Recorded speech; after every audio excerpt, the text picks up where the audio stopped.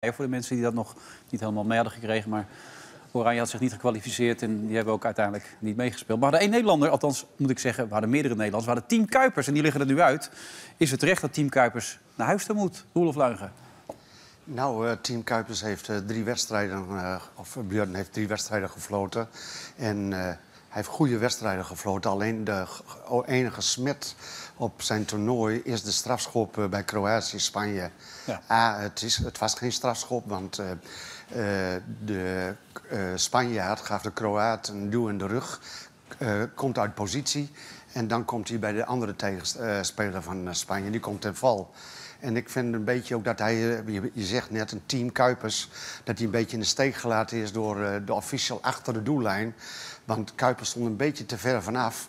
En Richard Liesveld stond achter de doellijn daar. En die had precies daar goede oogcontact. Die kon dat goed beoordelen.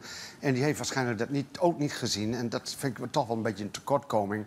En dat heeft hem dus, denk ik, genekt. Want ja, de, Colina, die doet openbaar... Uh, zegt hij dat Kuipers daar een fout in is geweest. Vooral de uitvoering van die strafschop.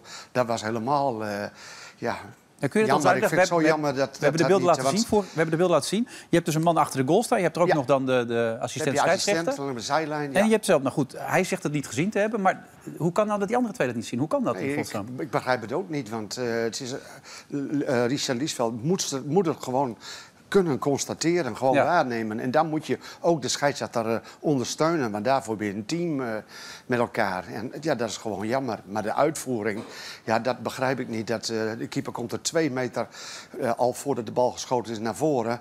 Ja, die moet overgenomen worden. Dat kan niet anders. Want je ziet ook de verloop van het toernooi na die wedstrijd. Dat als er een strafschop komt, dat de scheidsrechter nu naar de keeper toe gaat en die krijgt instructie. Dus daar is duidelijk over gesproken. Maar het is jammer voor